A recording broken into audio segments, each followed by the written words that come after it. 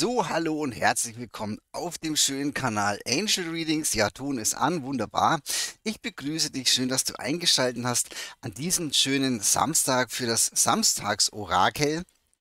Ähm, da äh, greife ich ja eigentlich immer mal so eine Frage auf, die mich in den ganzen persönlichen Readings unter der Woche häufig ereilt. Ähm, das habe ich jetzt unter der Woche schon so ein bisschen eingebaut. Und da ist mir doch glatt meine berühmte Spiegellegung ähm, durchgeflutscht. Mein Bestseller, das quasi meistgebuchte Reading ähm, bei mir am, am Kanal oder in, auf meiner Homepage.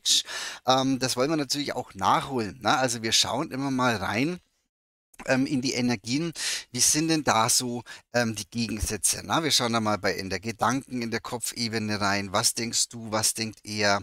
Dann in der Gefühlsebene, was fühlst du, was fühlt er? Um da mal zu sehen, ja, matcht da vielleicht was nicht so richtig? Ähm, kann man da vielleicht mal so ein bisschen anders vorgehen? Ähm, wo hakt's, wo hapert's, wo hängt's?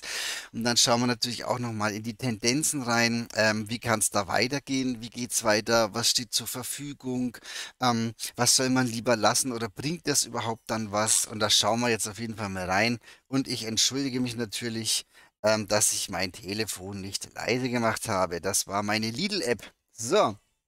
Okay. Jetzt wollen wir mal schauen. Ich mache mich mal klein. Ich habe nämlich schon gemischt und ausgelegt. Ähm, das mache ich, wenn es viele Karten sind oder ein großes Deck, ähm, mache ich das, dass ich vorher erstmal mische und das dann alles so hindrehe und tue, ähm, dass es nicht kreuzkrumm da liegt und äh, du dir dann denkst, ja, was ist denn hier los? Wann geht es denn endlich zur Sache? Na? So, wir wollen ja mal schauen. ich habe auch meine tolle Feder endlich wieder. hier auf der Seite, das ist deine Seite, die Seite der Frau. Und hier äh, ist die Seite des Mannes, also von deinem Gegenüber. Äh, wenn du als Mann so siehst, drehst dir bitte einfach um. Ähm, wir haben hier oben in der ersten Reihe ja so ein bisschen ähm, die Kopf-, die Gedankenebene. Dann haben wir hier die Herzebene in der Mitte. Und da unten, das sind dann so ein bisschen die Tendenzen bei dir, bei ihm. Wie kann es weitergehen? Es ist eine Kollektivlegung, ganz klar, kann nicht für jeden passen. Ähm, wenn du sagst, oh, wie schön, ich möchte auch mal eine Spiegellegung haben, äh, um vielleicht mal herauszufinden, äh, wo jetzt da genau der Sand im Getriebe ist, bei mir und meinem Wunschpartner, also deinem Wunschpartner, ähm, ja, dann schreib mich einfach gerne an. Meine Nummer ist ja in der Infobox oder du kannst es auch direkt über meine Homepage angel-readings.de buchen ähm, dann bekomme ich eine E-Mail und dann melde ich mich gleich bei dir und schreibe dich an, ähm, dass wir da ausmachen, worum es dir genau geht, weil sonst wird es ja zu allgemein, worauf ich genau schauen soll in den Karten und das ist ganz schön. Und ich freue mich, wenn du dich meldest. Aber wir fangen jetzt mal an und schauen mal rein bei dir in der Kopfebene. Da oben, ja, da sehe ich schon, da ist das Glück da. Ähm, da haben wir die Lilien, das ist ja so eine Karte für Sex, Sinnlichkeit, Romantik, Wachstum, Schönheit, Harmonie, also auch eine ganz tolle Karte. Karte neben dem Haus. Also das ist der Ort eigentlich, wo du dich wohlfühlst. Dein inneres Zuhause, aber natürlich auch der Ort, wo du lebst, wo du wohnst und die Sonne noch dazu also hier die große Glückskarte noch bei dir in der Kopfebene. Das heißt also, ja, ein Feuerwerk im Kopf, ähm, da es gut aus, da fühlst du dich gut, du bist äh, mit deinen Gedanken absolut auf ihn eingestellt. Ähm, da es jetzt überhaupt nichts, wo man sagen kann, oh, äh, na, der ist aber nicht so, na, da es super aus, sind lauter tolle Karten drin. Und dein Kopf ist absolut 100% bei ihm bei der Beziehung oder bei dem Wunschpartner. Na? Bei ihm ja ähnlich, aber so ein bisschen anders, weil da liegt der Berg mit drin. Der Bär, ja, der ist ja erstmal Kraft, Stärke, Ausdauer, na? eine kräftige, eine starke männliche Person. Der Anker ähm, für Halt, für Sicherheit, für Stabilität.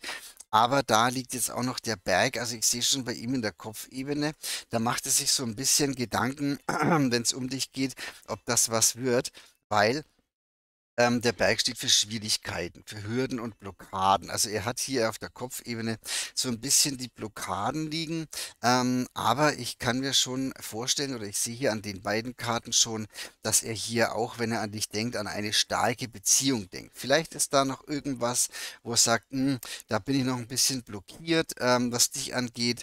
Hm, da muss ich noch mal warten, noch mal schauen, hm, wie, das, wie sich das entwickelt. Kann ja auch sein, dass das einfach ein Mann ist, der so ein bisschen ja die Dinge langsam angehen lässt. Ne? Also da so ein bisschen noch die Blockaden drin, aber auch zwei sehr starke Karten und bei dir da oben eben auch. Ja, also so schaut's da schon mal sehr, sehr schön aus. Hm, in der Herzebene, wenn wir mal reinschauen, ja, bei dir dein Herz sehnt sich nach Liebe, ist sich aber nicht so ganz sicher. Also hier die Lupe, ähm, da geht's drum, ja, wenn ich was anschaue, wenn ich was genauer anschaue, da halte ich die Lupe drauf, jetzt in dem Fall auf den Wunschpartner, ne? Was macht der Wunschpartner? Wie verhält sich der Wunschpartner? Ähm, wieso ist der Wunschpartner blockiert? Na, also hier auch, da werden jetzt die über die Lupe draufgehalten, ob sich dein Herz öffnen kann. Ja, die Liebe liegt da bei dir in der Herzebene. Also dein Herz sehnt sich schon nach Liebe, sucht auch nach der Liebe, ist sich aber nicht so ganz sicher. Vielleicht liegen hier ja die Masken drin, weil bei ihm oben hier noch ein bisschen Blockaden sind ähm, in der Kopfebene. Vielleicht merkst du das, vielleicht blendest du das hier im Kopf aus, aber dein Bauchgefühl, das betrügt und belügt dich ja nie. Ne? Deswegen liegen hier vielleicht auch die Masken drin, wo du dir da nicht so ganz sicher bist. Ne? Also so ein bisschen hier ähm, die Unentschlossenheit, ähm, sollst du dein Herz jetzt ganz für ihn öffnen oder nicht? Aber das kannst du gerne tun, ähm, denn seine Gefühlswelt schaut auch sehr, sehr schön aus. Na, da haben wir das Schiff. Ja, das ist eine langsame Karte. Äh, klar, ist aber auch für Träume, für Sehnsüchte, für Ziele da. Der Ring, ja, die Karte der Partnerschaft, ähm, eine Karte, wo man sieht, da läuft's rund. Die Lilien, wie gesagt, Sex, Sinnlichkeit, Romantik, Schönheit, Wachstum, Harmonie. Also bei ihm in der Herzebene fühlt er sich pudelwohl, wenn er an dich denkt. Ähm, da schaut es sehr, sehr gut aus. Wir haben hier einen kleinen Denker. Der Denker, der äh, gibt dir eben das Gefühl, dass du so noch nicht so ganz äh, dich öffnen kannst. So ein bisschen die Unsicherheit ist bei dir da im, in, in, im Herz, in der Herzebene, im, in der Gefühlsebene.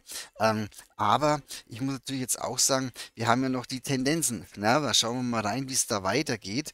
Ähm, da haben wir nämlich hier bei dir den Mond, den Baum und ihn. Also deine Gedanken. Der Mond ist das Innere, na, die Wünsche, die Ängste auch, Emotion, Intuition, deine Innenwelt ähm, in Bezug auf euer Wachstum der Baum auch die Karte des Lebens, ja, und da kommt auch schon er, ja, also bei dir in den Tendenzen, wie es weitergeht, auch hier deine Gedanken äh, rund um ihn, das sind schöne Gedanken, das sehe ich ja hier an der Kopfebene. Hier geht es ums Wachstum, um die Stabilität, um die Festigkeit. Und der gute Mann, der spielt auch eine Rolle. Also das schaut mal hier mit den Tendenzen sehr, sehr schön aus, was da kommt. Und bei ihm, ja, da auch, weil da ist tatsächlich bei ihm die Karte der Liebe gefallen. Ähm, die erklärt sich ja von selbst. Ähm, der Stern ähm, da bist du, da schaust auch du sogar noch drauf bei ihm. Das ist die Karte der Klarheit, der Fülle, der Wunscherfüllung, na? Also auch der Spiritualität. Aber ich nehme den Stern jetzt hier eigentlich auch als die Wunscherfüllung wahr, ähm, dass man sagt, wenn es bei ihm um die Tendenzen, wie es weitergeht, geht, dass man da guckt, dass du da legst, auf die Wunscherfüllung schaust und die Liebe liegt auch da. Also das ist eine ganz tolle Reihe, wie es bei ihm weitergeht. Bei dir auch. Deine Gedanken spielen hier weiterhin eine Rolle. Es geht um ihn.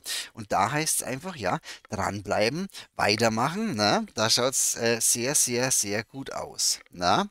Ähm, ja, die beiden Unterseiten des Decks. Bei dir ähm, der Brief gefallen, das ist die Kommunikation. Ähm, ja, vielleicht hilft es auch mal ein Gespräch mit ihm zu führen, was äh, bei ihm in der Kopfebene hier so ein bisschen für Blockaden sorgt, wo da, wo es da hapert, wo es da hängt. Deswegen vielleicht hier die ähm, die Kommunikation, dass wir bei dir hier an der Gefühlsebene die Masken auch noch wegkriegen, dass man ja hier äh, dafür sorgt, dass er nicht so viel denkt, dass du dich besser fühlst. Ähm, bei ihm die Karte äh, an der Unterseite des Decks, der Reiter. Na, das ist auch eine schöne Karte für einen positiven Aufbruch, einen positiven Ausgang, äh, allein positive Dinge. Also der Reiter ist eine ganz, ganz tolle Karte. Von daher kann man sagen, ja, let the show begin. Ähm, da geht es jetzt einfach nur noch um ein Gespräch, ähm, dass man vielleicht den Berg wegbekommt und bei dir die Masken und dann schaut es natürlich super schön aus. Ne? Also gefällt mir wirklich sehr gut. Und Energie ist top. Ja, also da ist momentan so ein bisschen ähm, in der Kollektivenergie sind dazu die Vibes da, dass man sagt, okay, ähm, da gibt es jetzt noch ein klein, paar kleine Stellschrauben ähm, zu drehen und dann wird das alles laufen und funktionieren. Von daher, ja, schaut sehr gut aus, meine Lieben. Ähm, mit diesem Fazit kann ich euch jetzt auch wieder entlassen und bevor ihr äh, auflegt, schon, bevor ihr abschaltet, ähm, ja, wenn es dir gefallen hat, zeig es mir natürlich gerne mit einem Daumen rauf. Ähm, schreibt mir auch gerne in die Kommentare, wie ihr es gefunden habt, wie es bei euch momentan so ist in Bezug auf den Wunschpartner, dass ich so ein bisschen die Energie von der lieben Angel Readings Community auch aufnehmen kann. Und wie gesagt, wenn du mal für dich ganz persönlich ähm, deinen Wunschpartner mal die Spiegellegung möchtest, ähm, dann schreib mich gerne an. Kein Problem, bei mir ist alles total unkompliziert. Ich freue mich, wenn du dich meldest. Und ja, wünsche euch jetzt einen ganz, ganz tollen Samstag. Bleibt entspannt, bleibt äh, locker, habt euch alle lieb und wir sehen uns ja dann beim nächsten Video. Servus!